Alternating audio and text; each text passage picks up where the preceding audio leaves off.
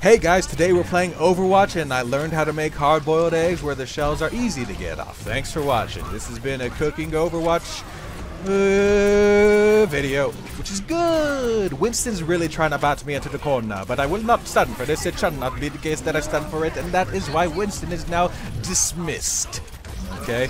That's why they call me Zarya, dude. The dude who can sometimes ult two people. Listen, if you think that a two-person ult with Zarya isn't the pinnacle of tank skill in Overwatch, then I think you should think again. Okay? I think you should take a minute out of your day, think long and hard. By the way, 100 energy on Zarya, like the difference on Zarya between, I don't know, 55 energy and 75 energy, it's insane. It's like more than the difference between 25 and 55. But that's 30.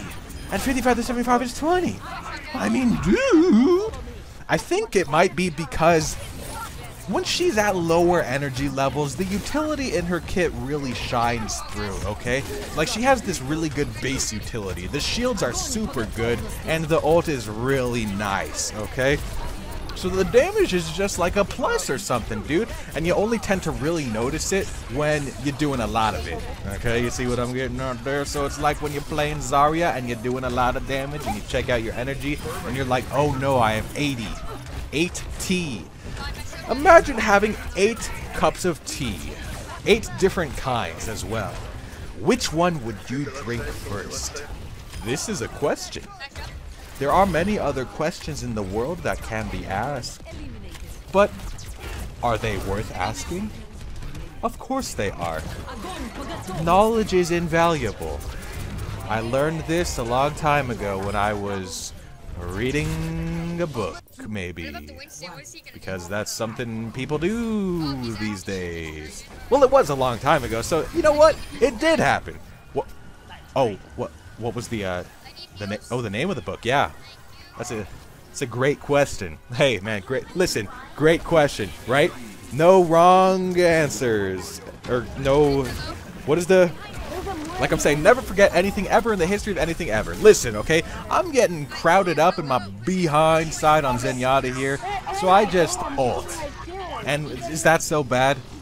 Is it really that bad? Think no, listen, think about it, okay? Is it really that bad? How bad is it? said the bear. Well, it's just about as bad as getting killed by a Junkrat tire for probably the one millionth time, believe it or not. Which is, I guess, fine. Here I'm trying to hit an enemy Roadhog who's right next to me. But the thing about Roadhog is that his character model is so small that it's hard for me to hit him. You know?